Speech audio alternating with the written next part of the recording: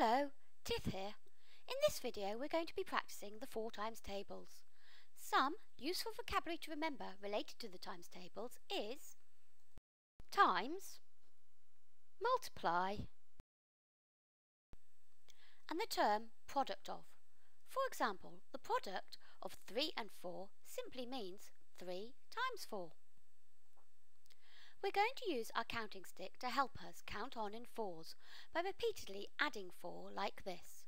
4, 8, 12, 16, 20, 24, 28, 32, 36, 40.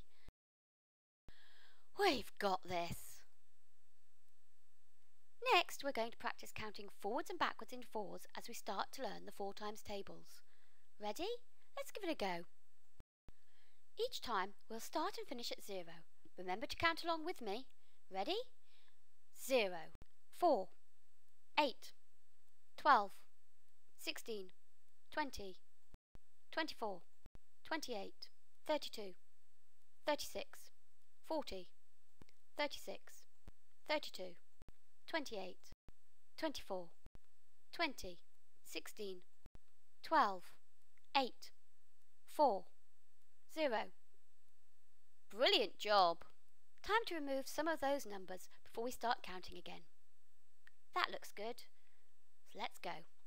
0, 4, 8, 12, 16, 20, 24, 28, 32, 36, 40, 36, 32, 28, 24, 20, 16, 12, 8, 4, 0.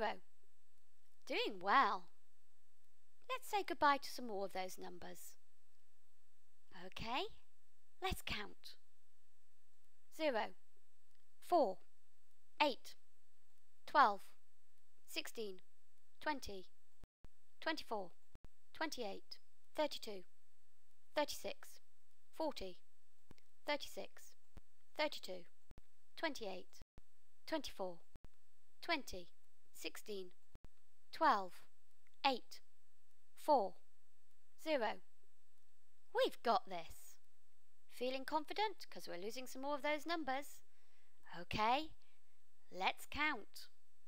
0, 4, 8, 12, 16, 20, 24, 28, 32, 36, 40, 36, 32, 28, 24, 20, 16, 12, 8, 4, 0. Nearly there. Okay, final time now. No numbers. Let's give it a go.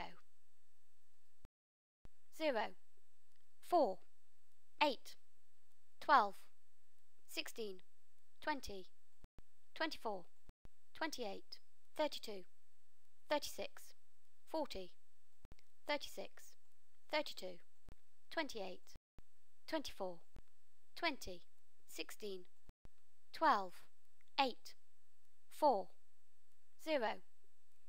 Super work! Well, that's it for now. But remember, you can repeat this activity as many times as you need to, and once you're feeling confident at counting forwards and backwards and fours, then why not test yourself with my 4 times tables ping pong?